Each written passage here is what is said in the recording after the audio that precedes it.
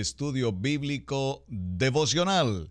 Su hermano Pastor Roberto Alfaro les saluda y les doy la mejor cordial bienvenida a esta semana, una semana en la recta final de nuestro estudio bíblico con el libro de Éxodo, el libro de Chemot.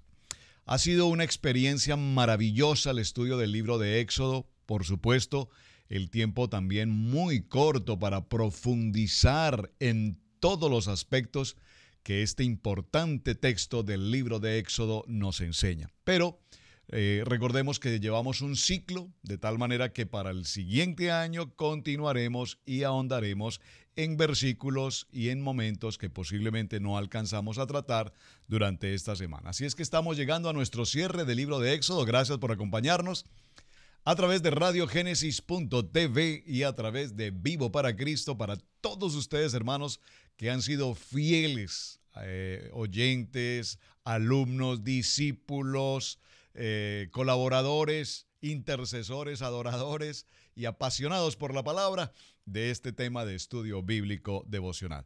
Vamos a estar tratando durante esta semana entonces el cierre de Éxodo desde el capítulo 38 hasta el capítulo 40. ¿Qué tal si dejamos una pequeña tarea muy rápida? ¿Cuántos versículos bíblicos tiene el libro de Éxodo? Lo hemos hecho con, los, con el libro de Berechit anteriormente, recuerdan. Ahora vamos con el libro de Éxodo. Ya dijimos 40 capítulos, ahora ¿cuántos versículos? Tómese el tiempo de, de numerarlos y saber exactamente cuántos versículos bíblicos tenemos. Muy bien, esta semana cerramos entonces con el tema Pecudei, a partir del capítulo 38 y la palabra pecudei nos hace referencia a rendir cuentas. Cuán importante el tema. Veamos. Durante todo el desarrollo del libro de Éxodo vimos eh, el proceso del pueblo de Israel, la salida de Egipto, vimos el proceso del monte Oreb, ah, la guerra con Amalek, eh, eh, la bendición de Dios protegiendo a su pueblo eh, la columna de fuego, la columna, la nube, protegiendo a su pueblo al entrar, al salir, en la parte de adelante, en la parte de atrás. Eh, Moisés en el monte Oreb, en el monte Sinaí. Dios allí le muestra a Moisés todo el contexto eh, celestial, le indica las medidas para el tabernáculo, los elementos, los materiales, los planos, como te mostré, dice el Señor. Vemos cómo en el capítulo de Éxodo 20 nos habla de las palabras que Dios le habla directamente al pueblo de Israel, lo que llamamos los mandamientos.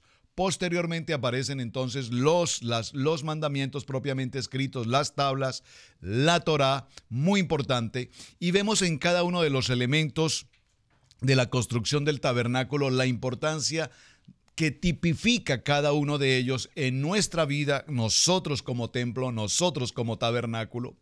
Vimos la importancia de las ofrendas, las ofrendas para construir el tabernáculo. Interesantísimo en el desarrollo de la semana anterior en nuestro texto, cómo las ofrendas no solamente debían ser de un corazón sabio, y concluimos que un corazón sabio es un corazón temeroso de, del Dios Todopoderoso. Amén. Cuando tenemos temor por la palabra y temor por el Padre eterno, entonces tenemos un corazón sabio y un corazón sabio sabe cuán importante es dar, pero también dijimos cuán importante es hacer. No solamente el dar, sino el hacer. Vimos cómo hombres y mujeres daban ofrenda al punto que dieron ofrenda en exceso, en abundancia. De tal manera que Moisés, Moshe, tiene que llegar a un momento en el que le habla al pueblo y le dice, hermanos, por favor, por favor, por favor, no más ofrenda. Hay más que suficiente. ¿Y esto por qué? Porque hombres y mujeres, cuando hablo de hombres y mujeres me refiero a familia, niños, niñas, abuelos, ancianos, todos participaban de la ofrenda. El capítulo 38 igualmente hizo de madera de acacia el altar del holocausto y empieza a narrarnos aquí la palabra hicieron, hicieron, hicieron, hicieron. ¿Quiénes? Todo el pueblo de Israel que participaba en la construcción del templo.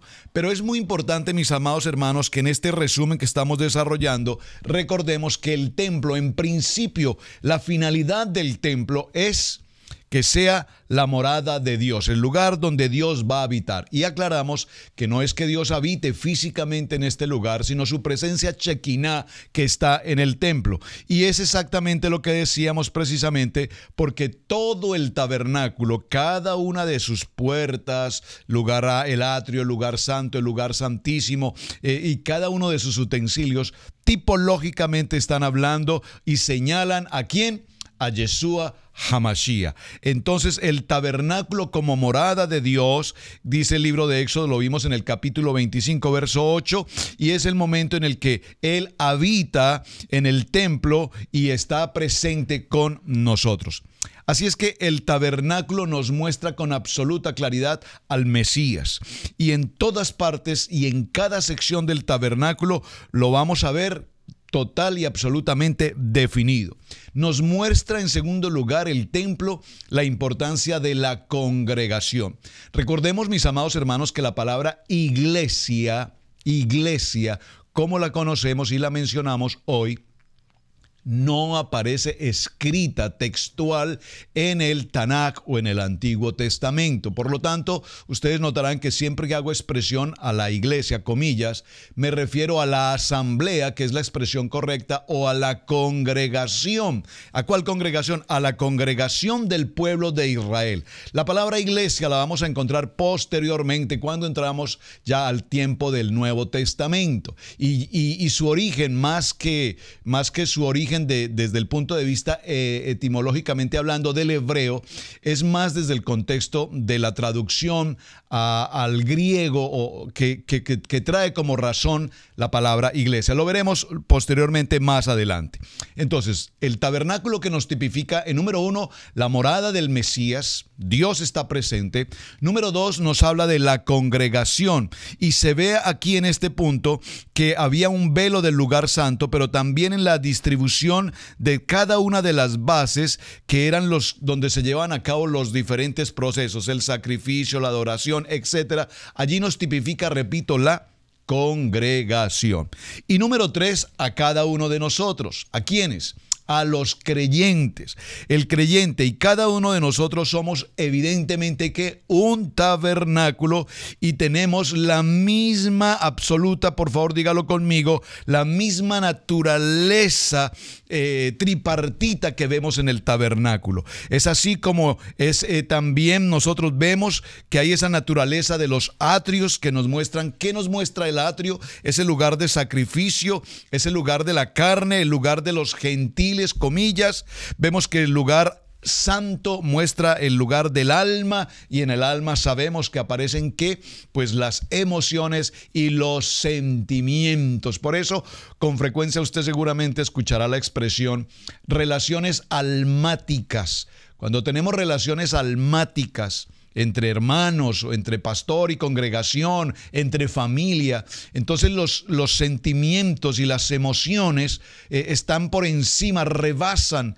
la autoridad del Espíritu Por lo tanto, el alma es muy importante y sobre el tema del alma hemos predicado ya en algunos mensajes anteriores, pero solo para mencionarlo. Y en el lugar santísimo nos muestra, por supuesto, el Espíritu Santo. Diga conmigo, el Ruja Kodesh, la presencia del Espíritu Santo, esa presencia de Dios en nosotros y esa es la imagen que tenemos nosotros hoy como tabernáculo en todo este proceso ahora.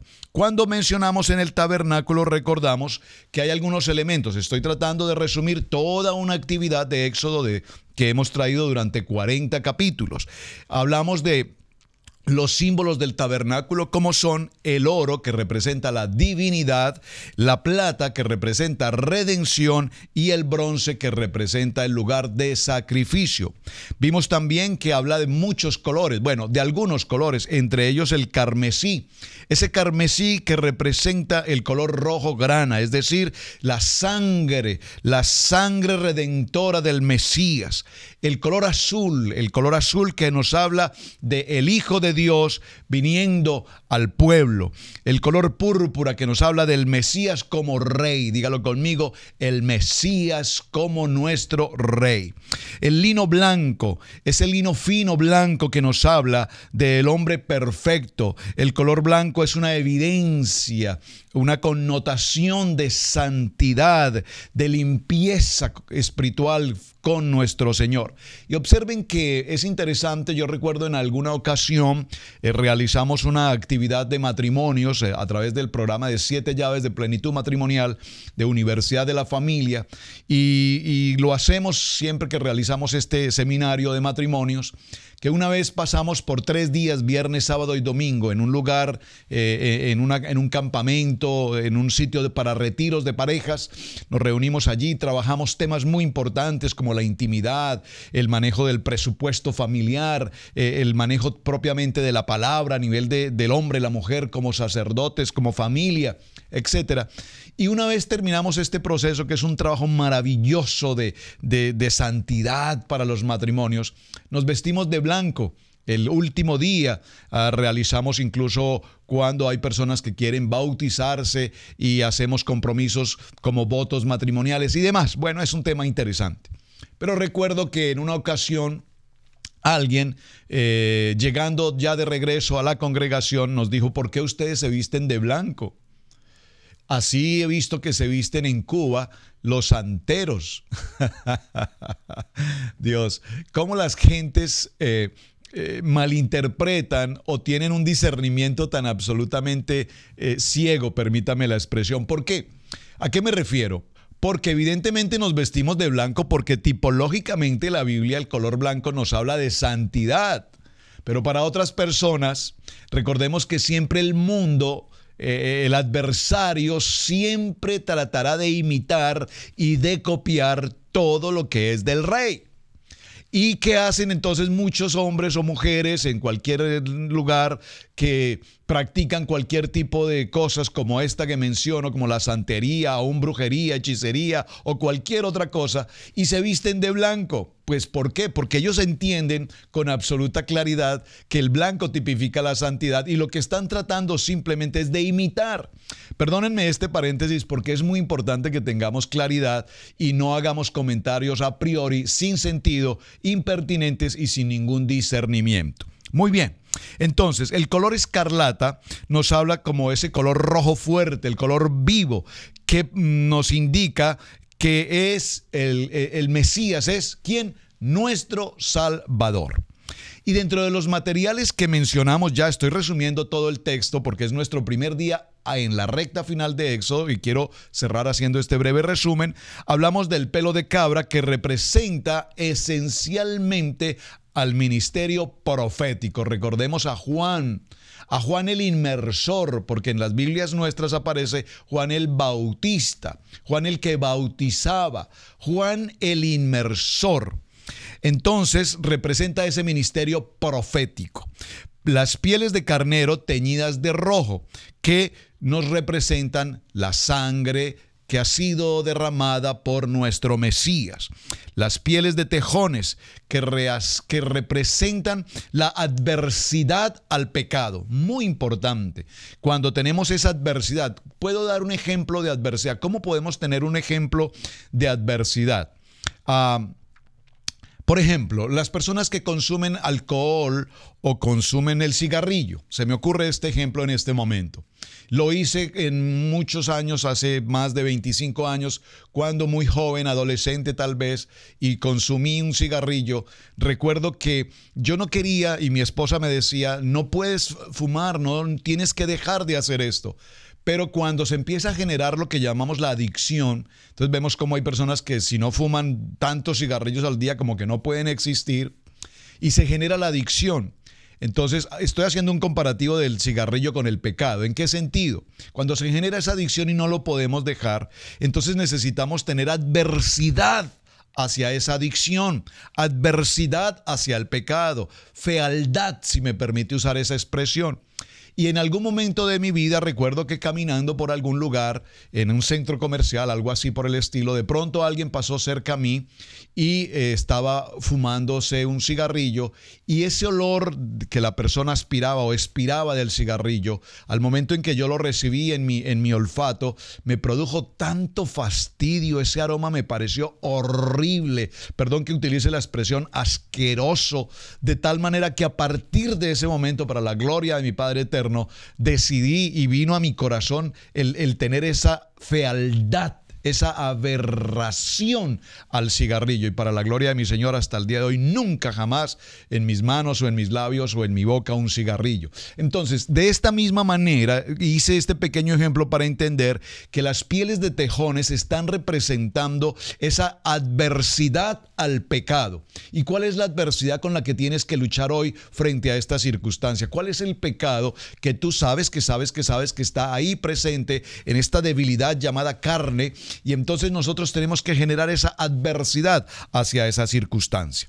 Posteriormente, otro de los materiales utilizados es la madera de acacia, muy importante, muy importante y se menciona con mucha frecuencia. Y la madera de acacia tipológicamente representa, ¿qué representa? Muy bien, representa incorrupción, algo incorruptible, muy importante, muy importante porque de esto nos vestimos en este tabernáculo, en este templo que Dios nos ha entregado, nos vestimos de lo incorruptible. ¿Cómo nos vestimos de lo incorruptible? A través del poder precisamente de la palabra, de la palabra. Me encanta la porción de Hebreos capítulo 4, verso 12, usted lo sabe. El poder de la palabra viva, eficaz y penetrante. Esa palabra que penetra esa palabra que discierne los pensamientos y las intenciones del corazón. Muy bien.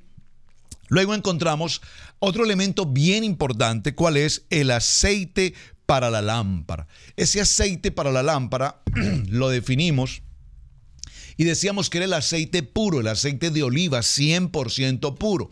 Hablamos que las olivas tipológicamente también representan al pueblo de Israel. Y mencioné este ejemplo y lo quiero recordar como cuando se visita un restaurante en, en, Israel, si usted tiene la oportunidad de estar allí, notará que cuando se está en el restaurante te van a servir como, como un plato de entrada las olivas con aceite.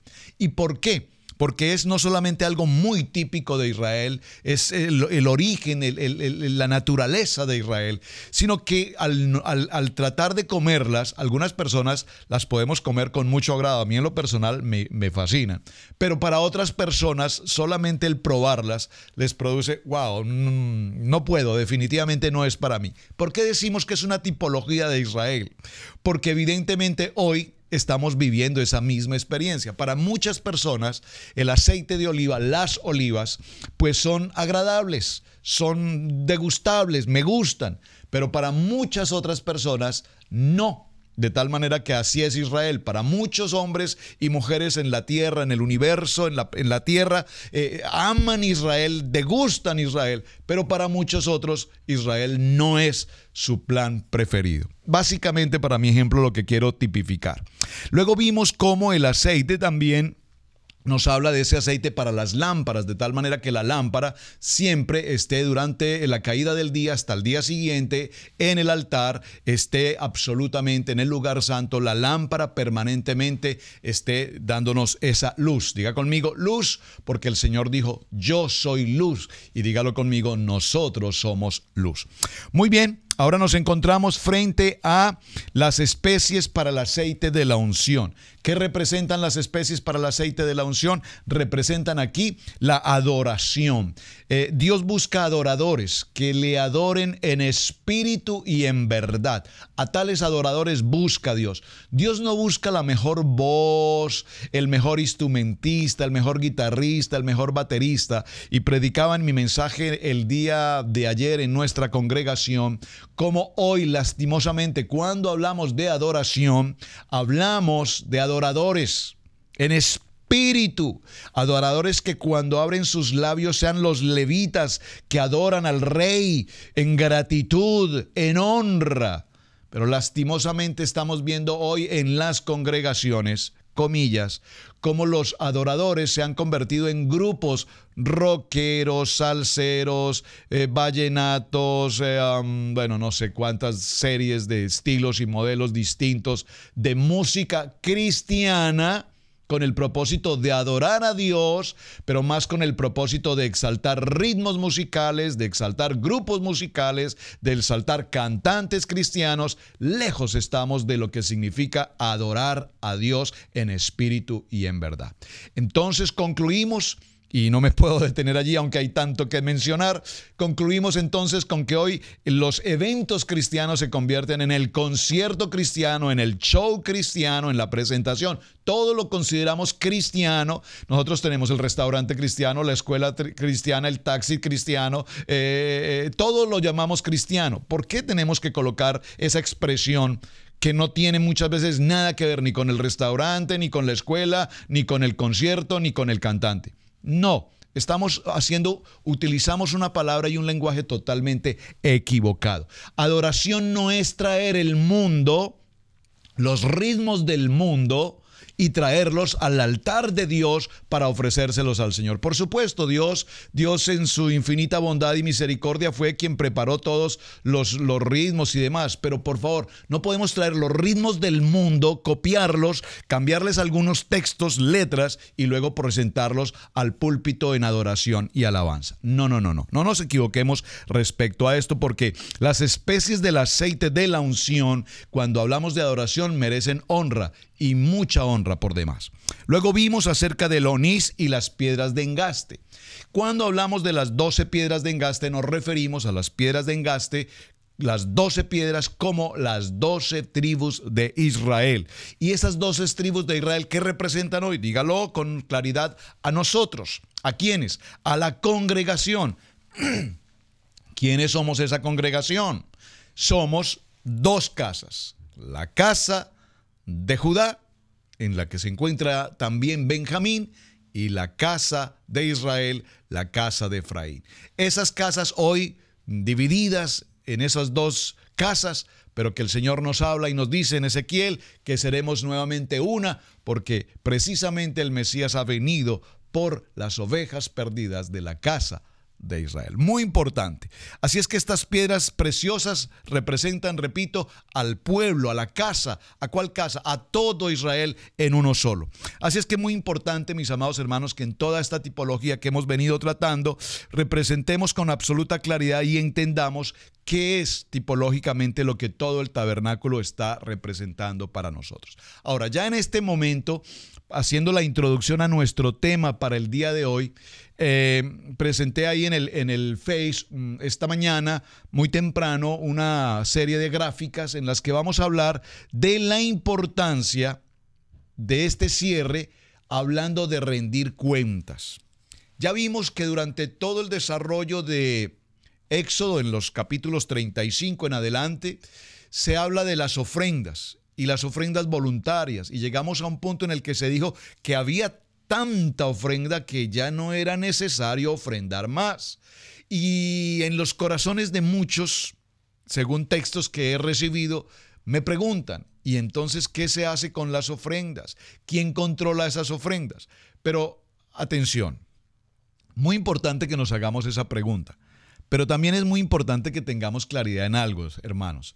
Estamos haciendo el recuento histórico, libro por libro, a través de los parashá, del estudio de la semana, y no lo traigamos a la mente en el día de hoy.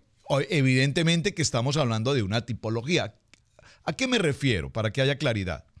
En el pensamiento hoy, en el pensamiento moderno, en el pensamiento del siglo XX, cuando nos referimos a las ofrendas, a las primicias, a los diezmos y demás, muchas gentes en su inconsciente o en su subconsciente o en su consciente colectivo piensan en que en las iglesias, y es el sentir de mucha gente, en las iglesias se toman el dinero, se roban el dinero, se hurtan el dinero y muchas otras expresiones que no quiero considerar.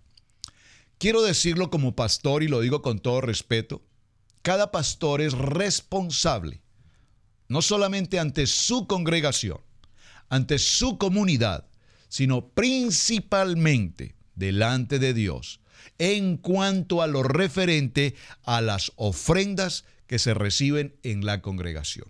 Yo recuerdo hace algunos años, más de 15 años, cuando eh, formamos parte de una organización en los Estados Unidos y en uno de los seminarios que recibimos, iniciando aquel tiempo de, esta organización, incorporándonos a ese proceso, recibí un seminario que marcó poderosamente mi vida desde el punto de vista pastoral y ministerial. El líder de este evento, un, hombre americano, eh, con un, decía él, soy un hombre americano, eh, soy un hispano incorporado en un, en un cuerpo americano, decía él jocosamente, con un excelente español, misionero por muchos de nuestros países, conocía con mucha claridad nuestra raíz, nuestra cultura, nuestra forma de pensar. Y recuerdo tanto que decía, las iglesias hispanas se multiplican grandemente. Y yo le decía, ¿por qué usted dice eso, hermano? Decía, porque es que se dividen cada rato y como se dividen tanto, pues se multiplican mucho. Pero el, el seminario al que me refiero, él nos hablaba de la importancia en una congregación que un pastor rinda cuentas no solamente rinda cuentas desde su punto de vista de su trabajo ministerial, me refiero específicamente a rendir cuentas desde el punto de vista contable, es decir, el manejo del dinero. Y es tan poderosa la palabra, tan extraordinaria la palabra, que precisamente la palabra nos enseña cuán importante es la tarea de Moisés que ahora él se toma el tiempo para rendir cuentas contables de todo lo que fue ofrenda, de todos los materiales en oro, en plata, en bronce y demás, la madera y todo lo que se recaudó para la construcción del templo. Miren qué lindo es el Señor que nos enseña con absoluta claridad la importancia de cumplir con este requisito tan extraordinario. Saben, si hay algo que en los Estados Unidos, donde nos encontramos hoy, el gobierno no perdona en nosotros, las personas emigrantes, ni en ninguna ciudadano o residente de este país, es que pasemos por alto el cumplimiento de nuestras obligaciones respecto del pago de los impuestos. Esto es extremadamente importante. Aquí hay entidades que atienden, por supuesto, las oficinas de migración, las oficinas de las leyes, las cortes y demás. Pero también tenemos una oficina que se llama la oficina del IRS, la oficina del impuesto. Y a esa oficina, por encima del FBI, la CIA y los organismos de seguridad de este país, a esa oficina no se le puede faltar. Tenemos que rendirle cuentas año tras año de nuestras utilidades, de nuestras ganancias, de nuestras inversiones, de nuestros egresos y justificar con documentos cada uno de los dineros recibidos versus cada uno de los dineros salientes. Esto nos lo indica el capítulo 38 y ese es nuestro tema de semana aquí en este momento hablando de la Paracha Pecudei. Cómo manejar nuestros nuestros gastos y cómo se hizo la inversión en todo el proceso del tabernáculo. Permítame cerrar con capítulo 38, verso 21, libro de Éxodo. Chemot dice, estas son las cuentas del tabernáculo, el tabernáculo del testimonio, según fueron contadas conforme al mandato de Moshe, Moisés el servicio de los levitas estuvo bajo la dirección de Itamar, hijo del sacerdote Aarón. Muy importante, muy importante. Es decir, que se llevaba consigo una contabilidad, un aspecto contable, de tal manera que se pudiese mostrar al pueblo con absoluta transparencia cuáles fueron los ingresos y cuáles fueron los ingresos. Esto es tan importante no solamente en la congregación, en el templo, en el tabernáculo, sino que cuán importante es en nuestra vida familiar, en nuestro presupuesto familiar. Lastimosamente, hemos cambiado el orden espiritual bíblico y nos hemos remontado al sistema americano 50-50, donde cada quien responde mitad por mitad. Mis amados, este es el tiempo de estudio bíblico devocional. Este es nuestro tema de semana. Shalom, bendiciones. Su hermano Pastor Roberto les saluda. Roberto Alfaro les saluda. Bendiciones y muy buen día. Gracias por compartir esta enseñanza.